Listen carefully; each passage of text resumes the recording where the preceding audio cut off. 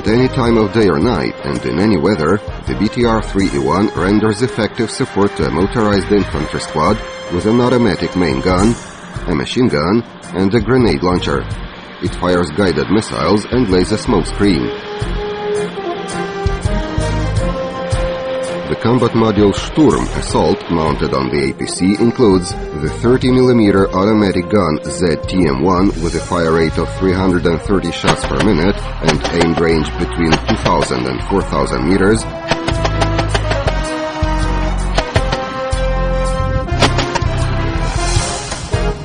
the 30mm AG-17 automatic grenade launcher with aimed range up to 1700 meters, the 7.62mm PKT machine gun with aimed range up to 2000 meters, the Barrier anti-tank missile system, which defeats armored and air targets at a range up to 5000 meters.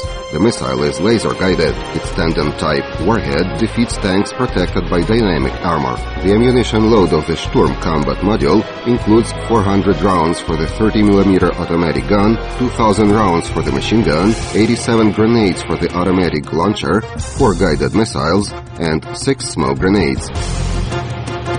The optical television sight with a laser rangefinder ensures high firing efficiency with aimed shooting at ranges not less than 5000 meters in the daytime and not less than 800 meters at night. The combat module is dual controlled, both from the commander's place and by the gun operator. The firing module is equipped with the SVU-500 Carousel 2-axis electromechanical stabilizer.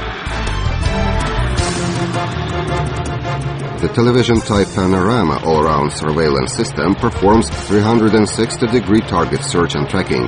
It is controlled by the vehicle commander. The communications equipment, which ensures the vehicle and personnel control, includes an ultrasound radio station and an interphone. Communication signal range on the move is 20 kilometers. The armored hermetical hull ensures protection from firearms and basic effects of mass destruction weapons. The crew compartment is coated with Kevlar for additional protection.